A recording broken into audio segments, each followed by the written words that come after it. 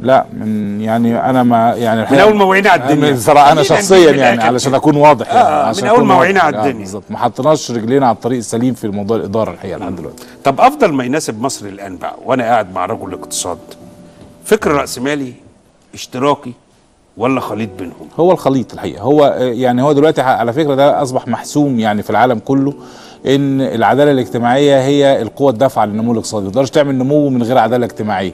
وبالتالي التوازن ده الخلطة اللي بين ال ال ال الرأسمالية والاشتراكية أعتقد هي ده الخلطة المناسبة للمجتمع المصري. أزمة الدو أزمة الدولة مع الإخوان شايف تنتهي إزاي؟ مصالحة ولا مطاردة ولا حرب اهليه لا أعتقد إن أنت يعني يعني مطاردة وحرب أهلية دي لا نتبناها ابدا ولكن المصالحة على أسس ال- السليمة هو ده اللي مطلوب أعتقد بتعرض ده في الحكومة؟ الفترة القادمة طبعا يعني أنا الحقيقة ده رأيي بشكل واضح جدا ولكن المصالحة بمفهومها إن إحنا خلاص متفقين على خريطة الطريق اللي اختارها الشعب في 30 يونيو دي نقطة بداية فاصلة. ومحورية جدا وهي اللي هتحدد الاتجاه.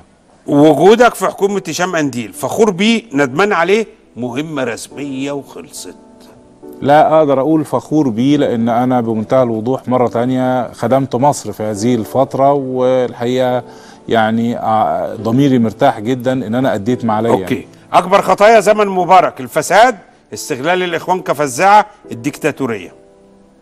الثلاثه الثلاثه ثلاث إجابات صحيحة. طب ومرسي آه أكبر اخطائه أكبر اخطائه يعني آه عدم استيعاب آه يعني مهمة رجل الدولة. يعني رجل الدولة ما كانش الحقيقة آه كانش في دماغه. خالص الحقيقة. ما كانش مهيأ إدارة الدولة يعني.